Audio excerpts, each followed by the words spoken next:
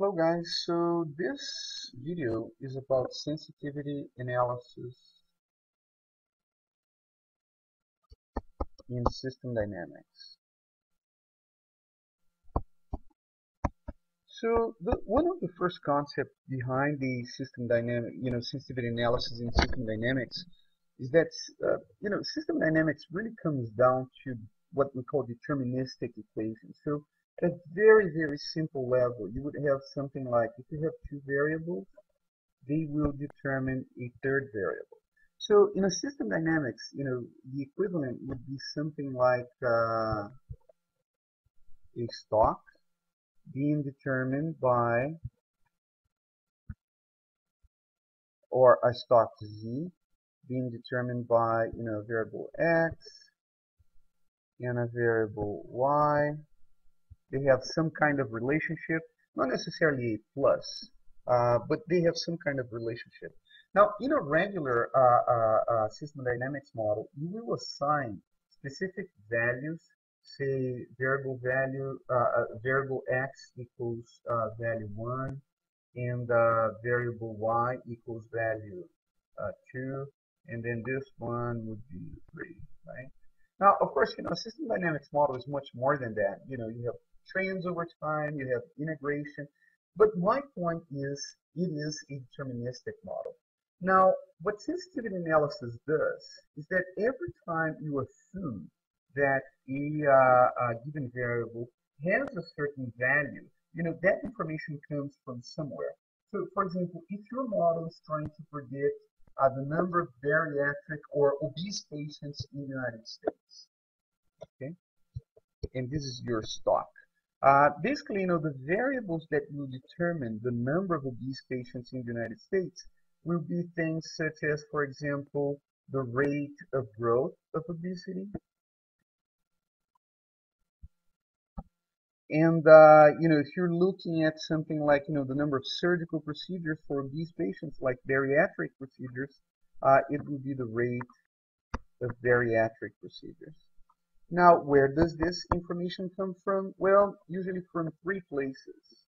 You can get this from existing databases. You can get this from the literature. And you can get this from experts or focus groups. Now, of course, these three sources of data, uh, they do not necessarily uh, agree like you know the information from the database or from the information from different papers or the information from different experts, they will vary. So say if you, you're saying that you know the rate of uh, bariatric procedures in the United States is, and I have absolutely no idea what it is, but you know let's just make something up, like uh, you know five percent of a given population.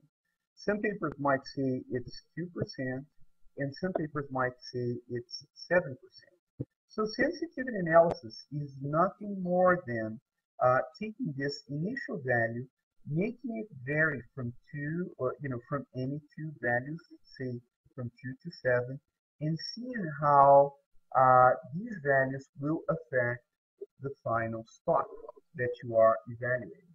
Okay. So basically, the way you would do this is to pull, you know, a bunch of numbers.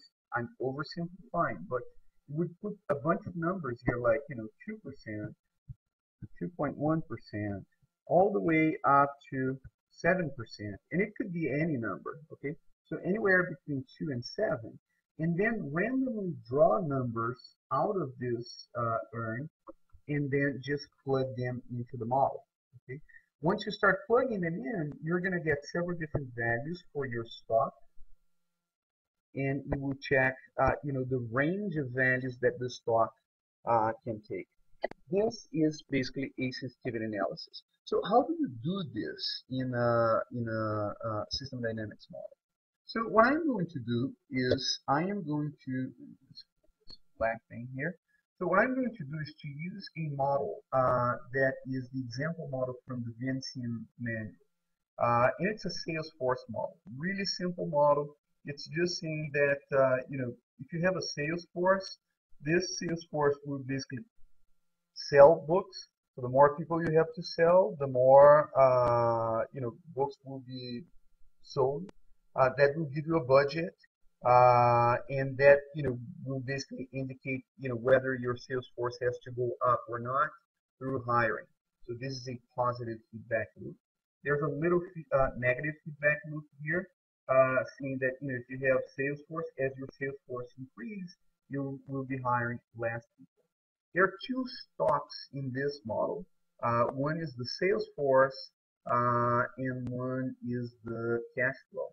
Okay, and uh, there are also two variables uh, that cannot vary in the model. So again, we're talking about sensitivity analysis.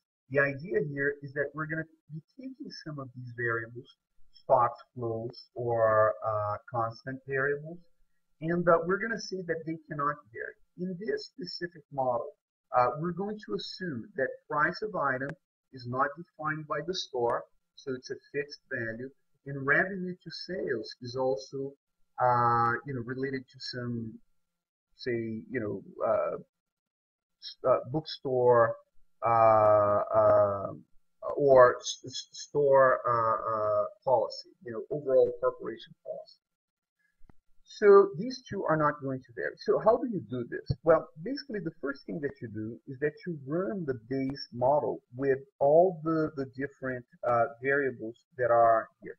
Now first, so let's just do one thing first. I'm not going to go all over all the equations, but you can know all the equations for this model by selecting all variables, and you do this by either Control A or by uh, just selecting all variables at once and then clicking on this doc button. And this will basically give you a description of the formulas underlying each one of the, the different uh, variables in the model. So basically what you do then um, is you're going to run the baseline model by, you know, you can call this current or base, doesn't matter. And then you click on this button saying run a simulation you click it once. Then let's see, uh, we want to check uh, how the sales force is increasing over time. I select Salesforce and then I click on this button for graph. And here you go. Salesforce is increasing over time. Now what I'm going to do is that I'm going to vary some of these variables to see how uh, the sensitivity analysis will make the Salesforce behave. So basically what I do is I just click on Start Sensitivity Simulation. And then in here, I am going to be selecting some variables uh, to be varied. Okay, so how, I, how do I do this? So first select parameter, and I get a list of variables here. Uh, and then let's just say I want to vary, so price of item and revenue to sales, we decided they were going to be uh, uh, stable. Uh, and then I can say I want to change sale, uh, sales person salary, okay? And I just say okay. Now, what this is saying is that salesperson salary, the, the model value or the initial value was 2000. So let's just say that I have reasons from the literature to vary this from uh, 1800 all the way up to, to uh, 2200.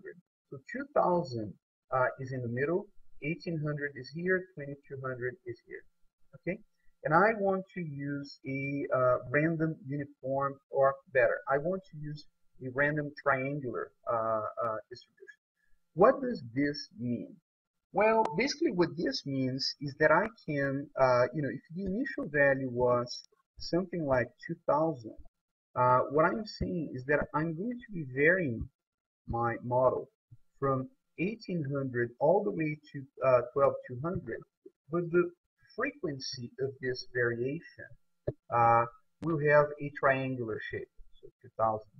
So 2000 is what will have, you know, the highest probability of uh, happening, and 1800 and two, 2200 uh, will have a probability of zero. Everything in between will have initially a growing uh, probability and later later a declining probability. Basically this is the probability. Going back to our model, uh, you know, I click on, uh, sorry, I click on uh, Add Editing.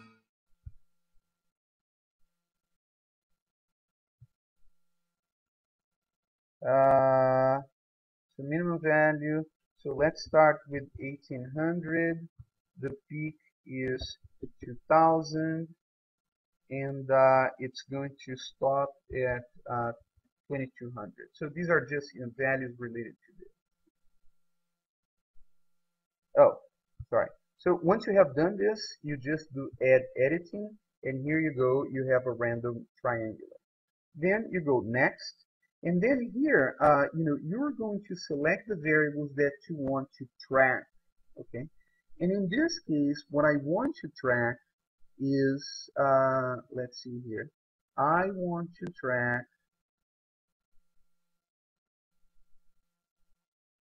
the, where's that variable? Okay, Salesforce, okay? I want to track, and I also want to track Mm, where's that other variable? Revenue. And I also want to track uh, sales budget. Okay. I think I have to do one at a time. So I just click OK here. And then I say add editing for sales budget. And then I also see uh, Salesforce click OK and then add editing and I have these two variables. And then finish okay? Uh, la, la, la, do you want to override it? Sorry so I forgot to do something. Before we do this I'm gonna call, be calling this the sensitivity data set okay? And basically you know I could have done this by using the the you know initially having put the, the name sensitivity here but basically ask me at the end. Basically what I, I have done so far is that I have created a separate data set just for the sensitivity analysis. And I can check this by coming to control panel looking at my data sets and then I can see that I have a data set for current and a data set for sensitivity I'm actually going to exclude the current, which is my baseline. I'm just going to place it on the, the, the left. So I did that by selecting it and then clicking on the, the, the left arrow. And then I say OK. Okay. And then finally, I run the sensitivity analysis by, again, uh, I have already run it, right? Uh, then I select the Salesforce and then I'm going to generate the graphic for the sensitivity analysis, which is this button here, the sensitivity graph. And it basically gives me something that looks like this. So the sensitivity graphic basically tells me what is the mean for the, um, what's the, the line, this central line here is the line for the baseline uh, or uh, uh, uh, simulation. And then for different levels of the sensitivity around those values, I will have you know values that will go up or down. Okay, I can also you know do other things uh, by changing the graphic. So for example, if I right click on the sensitivity graphic, I could say you know change the colors, change some colors here, white and blue, and then I do OK. I close this graphic and then I run it again and I have a different color. I could, for example, select a certain section of the graphic by push, uh, pressing Control, then uh, left clicking the mouse, and then dragging into the sec uh, section of the graphic that I want. Close this, and then run it again, and now I have an exploded version of this graphic. And then finally, another cool thing that you can do, instead of, uh, you know, I can uh, map individual traces. You will see exactly what this means in a second. So basically, let's close this one, and let's plot Salesforce again. So now, instead of having like all of them together, I can look at individual lines for the sensitivity analysis. Anyway, this was a very quick uh, introduction to sensitivity analysis in system dynamics. Hope you enjoyed. Uh, you know, we'll be coming back soon. Bye.